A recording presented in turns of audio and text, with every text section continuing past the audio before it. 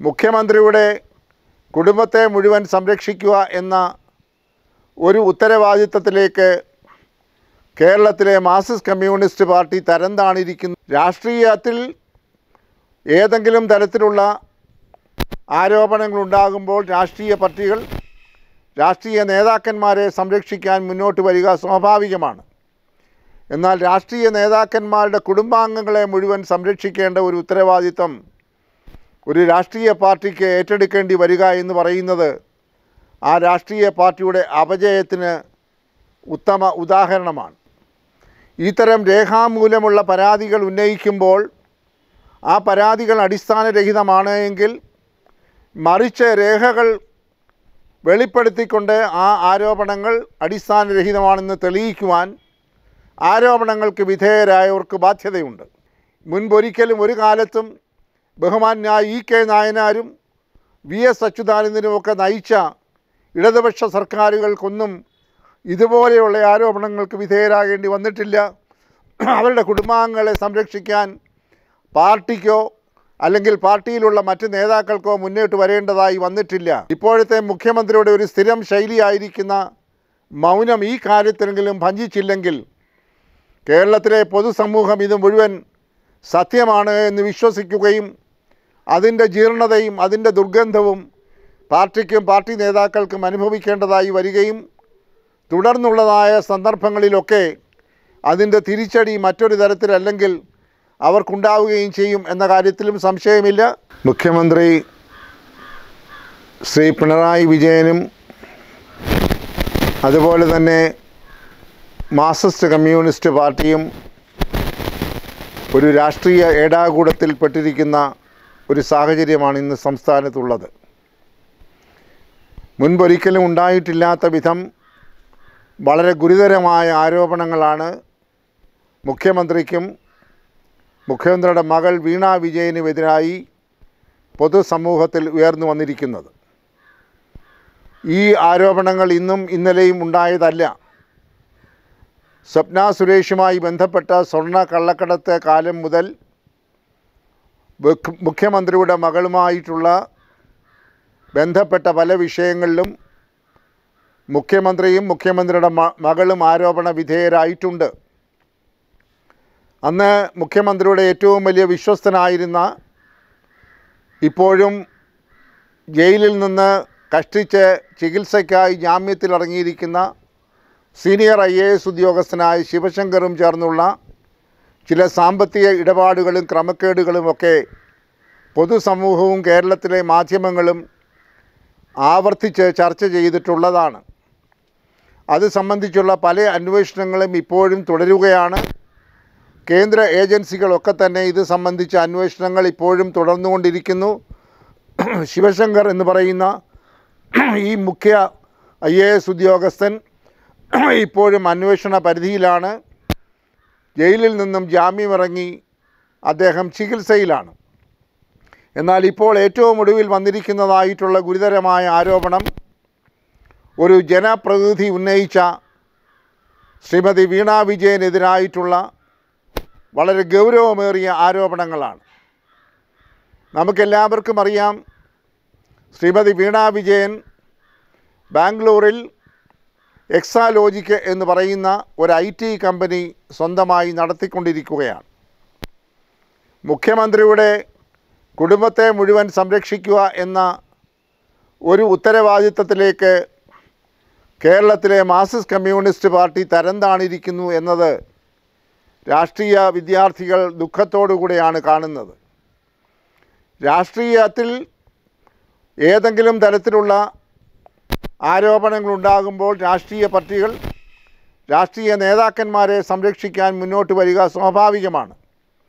എന്നാൽ രാഷ്ട്രീയ നേതാക്കന്മാരുടെ കുടുംബാംഗങ്ങളെ മുഴുവൻ സംരക്ഷിക്കേണ്ട ഒരു ഉത്തരവാദിത്തം ഒരു രാഷ്ട്രീയ പാർട്ടിക്ക് ഏറ്റെടുക്കേണ്ടി വരിക എന്ന് പറയുന്നത് ആ രാഷ്ട്രീയ പാർട്ടിയുടെ അപജയത്തിന് ഉത്തമ ഉദാഹരണമാണ്.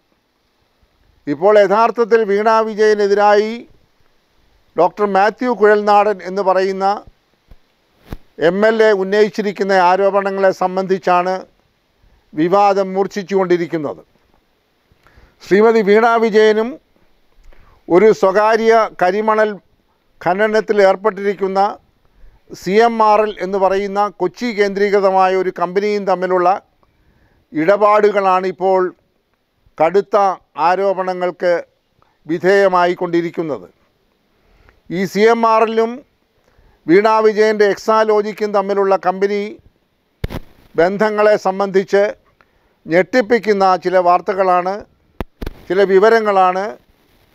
രേഖകൾ സഹിതം doctor Mathew Kuzhalnadan M L A മാധ്യമങ്ങളുടെയും പൊതുസമൂഹത്തിന്റെയും മുന്നിൽ കൊണ്ടുവന്നിരിക്കുന്നത്. അവിടെ നാം കാണേണ്ടതായ ഒരു കാര്യം ഇത്തരം രേഖാമൂലമുള്ള പരാതികൾ ഉന്നയിക്കുമ്പോൾ ആ പരാതികൾ അടിസ്ഥാനരഹിതമാണ് എങ്കിൽ മറിച്ച് രേഖകൾ വെളിപ്പെടുത്തിക്കൊണ്ട് ആ ആരോപണങ്ങൾ അടിസ്ഥാനരഹിതമാണെന്ന് തെളിയിക്കുവാൻ ആരോപണങ്ങൾക്ക് വിധേയരായവർക്ക് ബാധ്യതയുണ്ട്.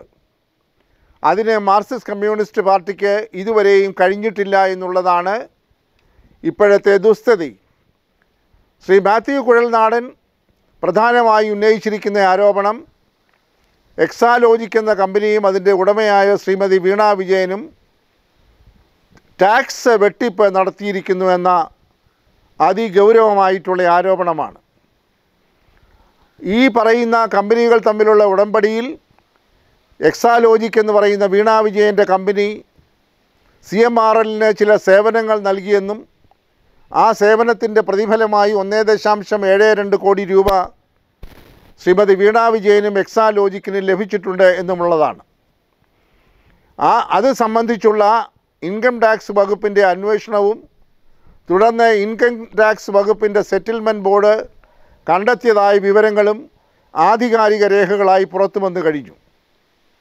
അവിടെ ഏറ്റവും വലിയ ഒരു ആരോപണം ഇൻകം ടാക്സിന്റെ തന്നെ ആരോപണമല്ല കണ്ടെത്തലായി പുറത്തു വന്നത് യഥാർത്ഥത്തിൽ എക്സാലോജിക് എന്ന് പറയുന്ന വീണാ വിജയന്റെ കമ്പനി യാതൊരു സേവനവും സി എം ആറിന് നൽകിയിട്ടില്ല. സേവനം നൽകും എന്ന ഒരു ഉടമ്പടി ഉണ്ടാക്കി എങ്കിൽ പോലും യാതൊരു സേവനവും നൽകാതെ സി എം ആർ എൽ കമ്പനിയിൽ നിന്ന് ഒന്നേ ദശാംശം ഏഴ് രണ്ട് കോടി രൂപ പ്രതിഫലം എന്ന രീതിയിൽ വാങ്ങിയിരിക്കുന്നു എന്നുള്ളതാണ്.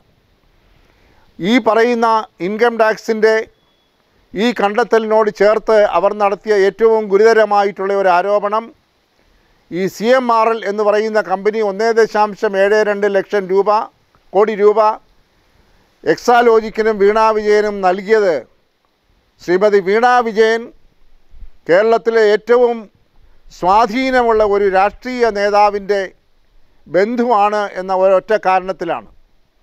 ആ ബന്ധു ആരാണ് എന്ന് സാധാരണ ഈ ഒന്നാം ക്ലാസ്സിൽ പഠിക്കുന്ന വിദ്യാർത്ഥികൾക്ക് പോലും മനസ്സിലാകത്തക്കതാണ്. അത് മറ്റാരുമല്ല കേരളത്തിന്റെ മുഖ്യമന്ത്രി ശ്രീ പിണറായി വിജയനാണ്. അപ്പോൾ ശ്രീ പിണറായി വിജയൻ നേതൃത്വം കൊടുക്കുന്ന ഒരു ഗവൺമെന്റിൽ നിന്നും ഒരു കരിമണൽ വ്യവസായി ആയിട്ടുള്ള ഈ സ്വകാര്യ വ്യക്തിക്ക് ആനുകൂല്യങ്ങൾ അനർഹമായി ലഭിക്കുന്നതിന് വേണ്ടി പരോക്ഷമായി കൊടുത്തതായ തുകയാണ് എന്ന് ഇത് പരക്കെ ബോധ്യപ്പെട്ട് കഴിഞ്ഞിരിക്കുകയാണ്. അത് സംബന്ധിച്ചുള്ള വ്യക്തമായ രേഖകൾ അവതരിപ്പിച്ചുകൊണ്ടാണ് ശ്രീ മാത്യു കുഴൽനാടൻ അസംബ്ലിയിലും കഴിഞ്ഞ രണ്ട് മൂന്ന് ദിവസങ്ങളായി മാധ്യമങ്ങളുടെ മുൻപിലും വിവരങ്ങൾ വെളിപ്പെടുത്തിക്കൊണ്ടിരിക്കുന്നത്. എന്നാൽ അത്ഭുതകരം എന്ന് പറയട്ടെ ഈ ആരോപണങ്ങൾക്കെതിരായി ആരോപണങ്ങൾക്ക് വിധേയരായിട്ടുള്ള ശ്രീമതി വീണ വിജയനാകട്ടെ അല്ലെങ്കിൽ ബഹുമാന്യനായ മുഖ്യമന്ത്രിയാകട്ടെ ഒരക്ഷരം പ്രതികരിക്കാനായി മുന്നോട്ട് വരുന്നില്ല എന്നുള്ളതാണ്. അപ്പോൾ ഇതിൽ അവർ ബോധപൂർവം പുലർത്തുന്നതായ മൗനം പരോക്ഷമായി ആരോപണങ്ങൾ ശരിവയ്ക്കുന്നതാണ് എന്നാരെങ്കിലും വിചാരിച്ചാൽ അവരെ കുറ്റപ്പെടുത്താനായി ആവുകയില്ല. ഏറ്റവും ഒടുവിലായി ശ്രീ കുഴൽനാടൻ പറഞ്ഞിരിക്കുന്നത് അഥവാ സേവനങ്ങൾക്ക് വേണ്ടി കൊടുത്തതാണെങ്കിൽ പോലും നിലവിലിരിക്കുന്ന രാജ്യത്തെ നിയമമനുസരിച്ച് സേവന നികുതി കൊടുക്കേണ്ടതായിട്ടുണ്ട്.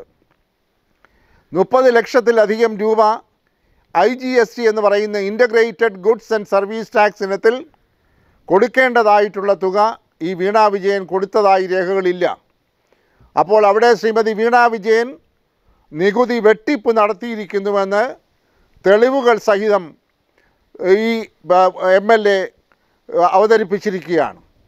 അപ്പോൾ സ്വാഭാവികമായി ഈ ആരോപണത്തിന് വിധേയരായ ശ്രീമതി വീണ വിജയനോ അല്ലെങ്കിൽ പരോക്ഷമായി ബന്ധപ്പെട്ടതായ ബഹുമാനിയായ മുഖ്യമന്ത്രിയോ ഇതിന് മറുപടി പറയാതെ അദ്ദേഹം പാർട്ടി സെക്രട്ടറിയെയും പാർട്ടിയിലെ ഒരു എല്ലാത്തിനും മറുപടി ഉണ്ടോ എന്ന് അന്വേഷിച്ച് നടക്കുന്ന മറുപടി പറയാൻ നടക്കുന്ന ഒരു നേതാവിനെയും ഏൽപ്പിച്ചിരിക്കുകയാണ് മറുപടി പറയാൻ. എന്തൊരു ജീർണതയാണ് പാർട്ടിക്ക് സംഭവിച്ചിരിക്കുന്നത്. ഈ പാർട്ടിയിലുള്ള നേതാക്കളുടെ കുടുംബാംഗങ്ങളെ സംരക്ഷിക്കാൻ കൂടി ഈ പാർട്ടിക്ക് സംസ്ഥാന സെക്രട്ടറിക്ക് അല്ലെങ്കിൽ സെൻട്രൽ സെക്രട്ടേറിയറ്റ് അംഗങ്ങൾക്ക് മാധ്യമങ്ങളുടെ മുൻപിൽ വരേണ്ടതായ ദുർഗതി ഉണ്ടായിരിക്കുന്നു. മുൻപൊരിക്കലും ഒരു കാലത്തും ബഹുമാന്യായ ഇ കെ നായനാരും വി എസ് അച്യുതാനന്ദനുമൊക്കെ നയിച്ച ഇടതുപക്ഷ സർക്കാരുകൾക്കൊന്നും ഇതുപോലെയുള്ള ആരോപണങ്ങൾക്ക് വിധേയരാകേണ്ടി വന്നിട്ടില്ല. അവരുടെ കുടുംബാംഗങ്ങളെ സംരക്ഷിക്കാൻ പാർട്ടിക്കോ അല്ലെങ്കിൽ പാർട്ടിയിലുള്ള മറ്റ് നേതാക്കൾക്കോ മുന്നോട്ട് വരേണ്ടതായി വന്നിട്ടില്ല. അപ്പോൾ എപ്പോഴും തന്ത്രമായി സ്വീകരിച്ചിരിക്കുന്ന ഇപ്പോഴത്തെ മുഖ്യമന്ത്രിയുടെ ഒരു സ്ഥിരം ശൈലിയായിരിക്കുന്ന മൗനം ഈ കാര്യത്തിലെങ്കിലും ഭഞ്ചിച്ചില്ലെങ്കിൽ കേരളത്തിലെ പൊതുസമൂഹം ഇത് മുഴുവൻ സത്യമാണ് എന്ന് വിശ്വസിക്കുകയും അതിന്റെ ജീർണതയും അതിന്റെ ദുർഗന്ധവും പാർട്ടിക്കും പാർട്ടി നേതാക്കൾക്കും അനുഭവിക്കേണ്ടതായി വരികയും തുടർന്നുള്ളതായ സന്ദർഭങ്ങളിലൊക്കെ അതിന്റെ തിരിച്ചടി മറ്റൊരു തരത്തിലല്ലെങ്കിൽ അവർക്കുണ്ടാവുകയും ചെയ്യും എന്ന കാര്യത്തിലും സംശയമില്ല. അതിന്റെ ഏറ്റവും ഒടുവിലായി നടക്കാൻ പോകുന്ന പുതുപ്പള്ളി തെരഞ്ഞെടുപ്പ് തീർച്ചയായും ഈ ആരോപണങ്ങളുടെ ഒരു ചുവരെഴുത്ത് കൂടെ നൽകും എന്ന കാര്യത്തിലും യാതൊരു സംശയവുമില്ല.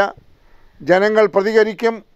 പൊതുസമൂഹത്തിന്റെ മുൻപിൽ മൗനം അവലംബിച്ചുകൊണ്ട് ഇത്തരം ആരോപണങ്ങൾക്ക് വെള്ളപൂശിയാൽ ജനങ്ങൾക്ക് അവസരം ലഭിക്കുമ്പോൾ അവർ തക്കതായി തിരിച്ചടി നൽകുമെന്ന കാര്യത്തിലും യാതൊരു സംശയവുമില്ല. പുതുപ്പള്ളി തെരഞ്ഞെടുപ്പ് അതിന്റെ ഒരു ഉരകല്ലായിരിക്കുമെന്ന് പറയുന്നതിലും ഒട്ടും അതിശയിക്കേണ്ടതായിട്ടില്ല.